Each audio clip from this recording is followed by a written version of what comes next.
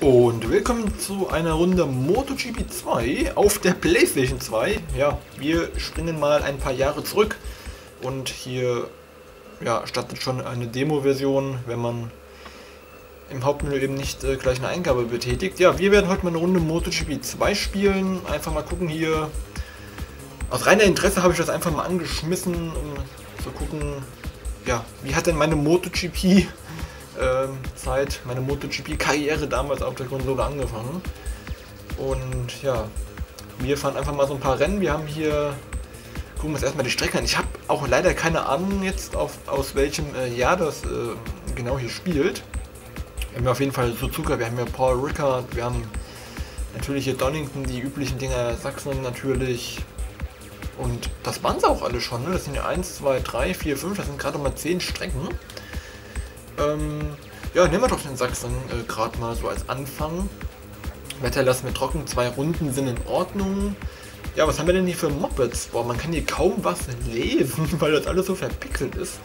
Wir haben hier, ja, Suzuki natürlich, das müsste hier mit Kenny Roberts und so weiter gewesen sein. Wir haben hier Yamaha, wir haben hier die Honda natürlich, die Repsol, die äh, Honda hier von äh, Rossi, die NSR, die Red Bull äh, Yamaha, das müsste hier mit ähm, Hager und äh, so gewesen sein. Das hier ist von äh, ja, Capio Rossi, ne? war mit diese Honda mit den äh, West Design. Dann hier nochmal Yamaha, Yamaha und Honda. Oh, hier geht es sogar noch weiter. Puls, äh, eine Proton haben wir und nochmal eine Honda. Also sehr, sehr Honda dominant. Ich äh, entscheide mich ja auch erstmal für die äh, Honda von äh, Rossi. Man kann jetzt auch gar nicht den äh, Fahrer speziell hier auswählen. Okay, Schaltung ist Automatik, Schwierigkeit ist normal. Lassen wir erstmal Simulation und bla bla. Ja, wir starten einfach erstmal einfach. So, bei Wanda hier Jack McCoy, Capi Rossi, Abe, Gibernau, Rossi. Oh, das geht so schnell, das kann ich gar nicht alles gucken hier. Haslam haben wir Vincent und wir sind auf der 21. Oh ja, das gute alte MotoGP 2. Damit hat es damals angefangen auf der Konsole für mich auf der Playstation 2. Als man noch den X-Button so fest in den Controller gedrückt hat, um einfach so schnell wie möglich zu fahren, weil man kennt natürlich, umso, umso äh, fester man den Knopf in den Controller drückt, umso ja, schneller fährt man. So, wir fahren ja einfach mal ja, durch das Feld. Schwierigkeit war ja normal, aber das ist ja eigentlich erstmal Nebensache. Wir wollen einfach nur mal in das Spiel wieder reingucken. Was ich wirklich jahrelang nicht mehr gemacht habe. So, hier mit einem schönen Slide raus. Sind schon auf der 12. Position. Bei der Hälfte des Feldes, in der Mitte. Und was mich auf jeden Fall noch ähm, ja, was mir auf jeden Fall noch im Kopf geblieben ist, was mich so ein bisschen gebrannt hat, waren diese Challenges, die man hier machen konnte, wo man ja auch noch, oder wo, wo das Ganze in diesem Trophäensystem gehandhabt wurde. Bronze, Silber, Gold, wo man eben einen speziellen Abschnitt irgendwie in einer bestimmten Zeit fahren musste. Man darf nicht auf äh, das Grüne kommen und ja, da können wir auf jeden Fall gleich nochmal reingucken. Dann kann ich da auch mehr dazu erzählen. So, können wir dann auch, ne, mit dem rechten Stick können wir leider nichts machen, mit dem linken Steuerkreuz auch nichts. Okay.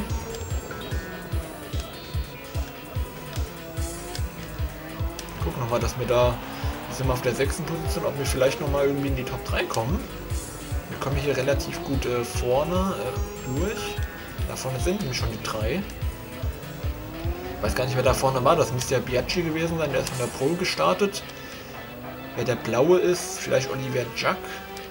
Und der zweite rote dahinter, weiß ich leider nicht. Vielleicht mal hier, wenn man auf die Abstände guckt, auf das Leaderboard, ob das da angezeigt wird. Da habe ich jetzt nicht drauf geachtet. Ja, Biaggi ist äh, dritter. Okay. An den beiden mal da vorbeigegangen gedrängelt. Dann haben wir nur noch einen vor uns. Vielleicht kriegen wir den ja auch noch. Boah, das sind der Rad komplett die ganze Zeit am Durchdrehen. Diese unendlich lange Linkskurve und oh, das, was, das ist auch Biaggi oder war das eben Biaggi auf der 1? Ich habe es gar nicht genau eben äh, sehen können, leider.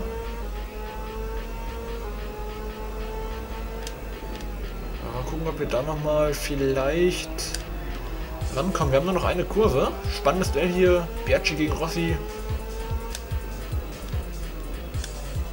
Jetzt vielleicht innen raus beschleunigen, rein beschleunigen. Kommen aufs Grüne.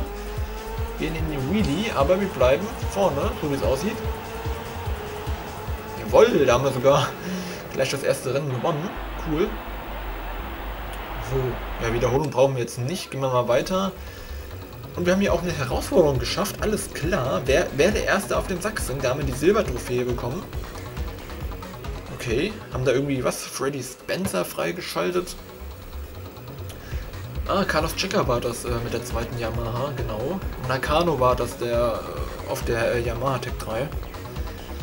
Alles klärchen, ja, Norik Abe, Baros, Olivier Jack, Kenny Roberts, Lieber Now hier auch noch auf der Suzuki, Gary McCoy, Hager, Cardoso, Van de Gorberg, Alex Greville, das sind alles Namen, die man natürlich kennt.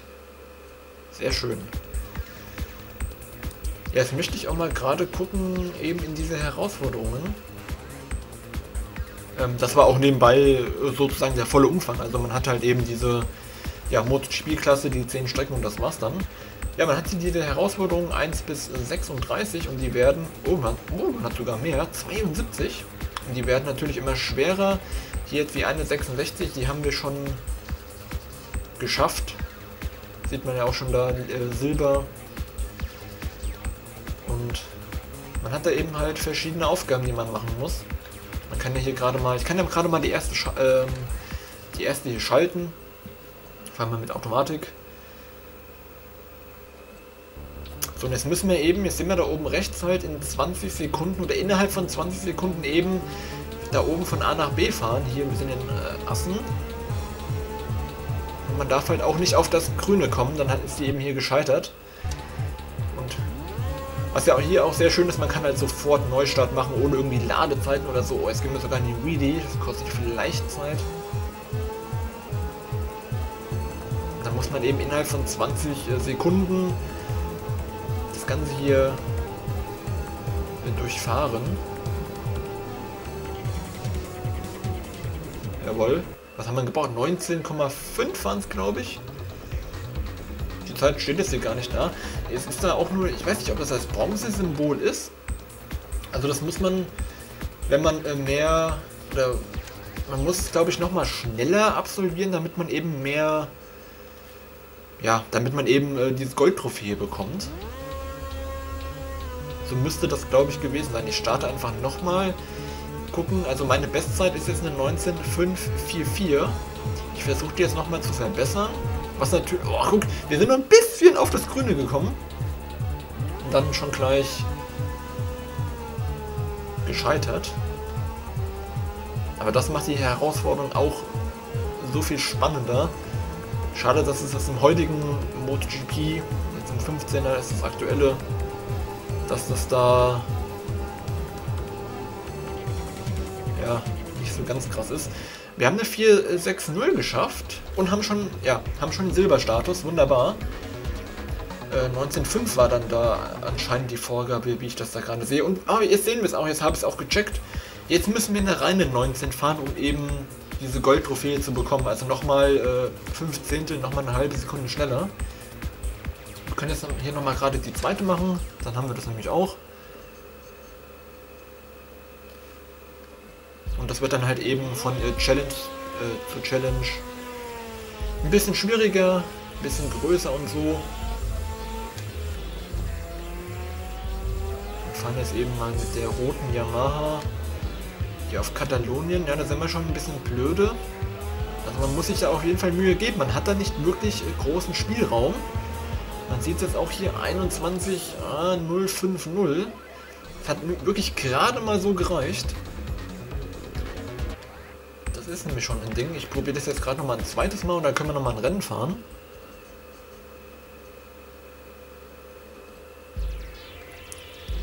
So. Und los geht's.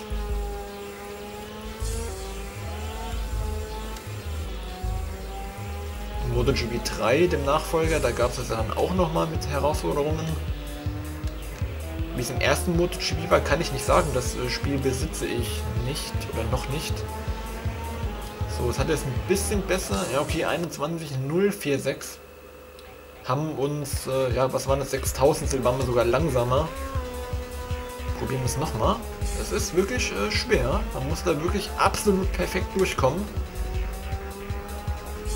Und halt eben hundertprozentig auf der Strecke bleiben.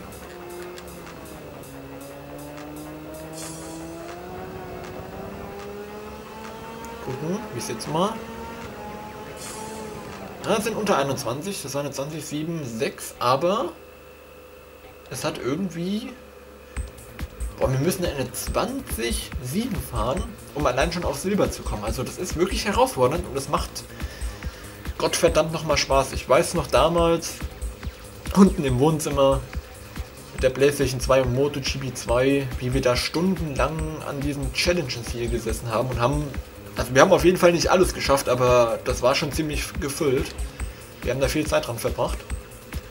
Ja, dann haben wir hier noch, ja okay, Legenden ist jetzt noch gesperrt. Wir haben ja schon Freddy Spencer beim ersten freigeschaltet. Können jetzt nochmal ein Rennen fahren und dann soll es das auch gewesen sein mit dem kleinen Einblick hier in MotoGP 2. Was kann man denn nochmal als Strecke nehmen? Ähm, ähm, ähm, ähm nimm mal Le Mans. Nimm mal ganz einfach nochmal Le Mans, da habe ich Lust drauf. Als Motorrad nehmen wir die äh, Suzuki, würde ich sagen, oder? Oder nee, ich habe hier auf die Honda, hier habe ich mehr Lust von Capio Rossi. Auch nochmal zwei Runden. Und dann starten wir. Biaggi Roberts, Rossi, Nakano, Checker Hage Abe, Capio Rossi. Das sind mal die ersten Reihen. Und los geht's.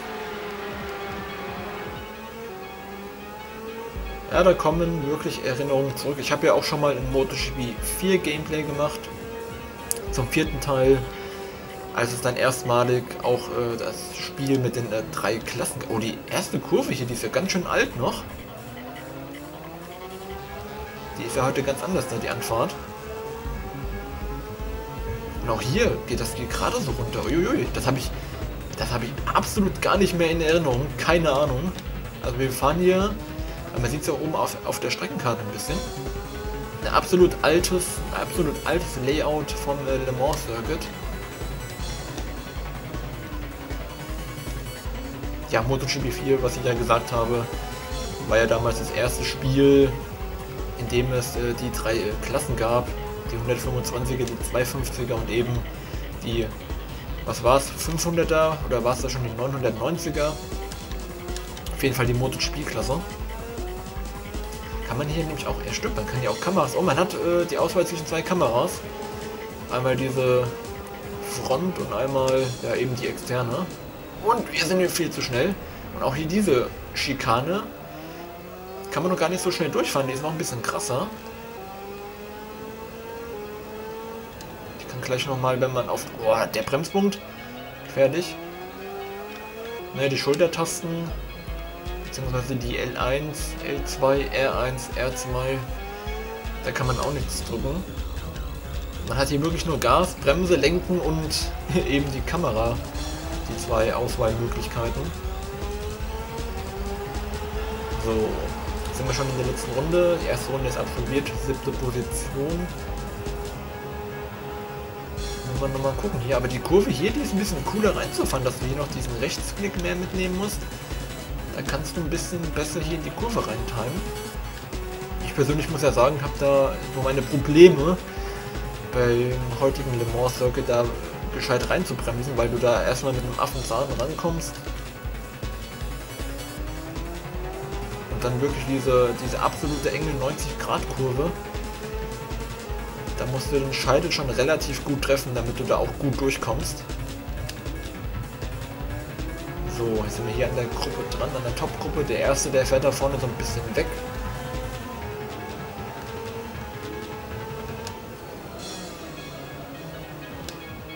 So, hier den Rossi, den haben wir. Vorne müsste wieder Biaggi sein. Ich habe jetzt auch gar nicht auf die Abstände eben geguckt. Ich konzentriere mich mehr oder weniger hier heile durchzukommen. Ob es Stürze gibt, weiß ich gar nicht. Müsste aber eigentlich sein. Ja klar, es gibt ja auch das äh, Simulationsmodell wo das Hinterrad ja wie nix dann äh, wegrutscht, wenn du da ein bisschen zu viel Gas gibst. Ja, wie dasselbe Spiel hier. Letzte Runde, letzten Kurven. Vorne haben wir unseren Konkurrenten, den haben wir überholt. Und man kann, ah, ich habe gerade mit dem Stick nach vorne kann man auch nicht Gas geben. Ja, das ist auch schon eine Sache mit Simulationshandling und äh, dem X-Button, wo man ja so gefühlvoll mit Gas geben kann. Äh, dann auf Simulation zu spielen. Ah ja, naja. Ja gut, das Rennen hier mal als zweites absolviert in Le Mans. Biaggi vorne, 1,3 Sekunden. Und das war dann auch schon der kleine Einblick in MotoGP 2. Ich gucke gerade mal hier, ich habe die Verpackung vor mir. Ob ich da irgendwie sehen kann, aus welchem Jahr das Ganze stammt, aber da kann ich jetzt erstmal nicht sehen. Haben die 500 cc. Da kann ich leider erstmal nichts äh, herausnehmen. Aber nun gut, das war MotoGP 2, das war die Playstation 2. Ich bedanke mich fürs Zuschauen und dann sehen wir uns beim nächsten Mal.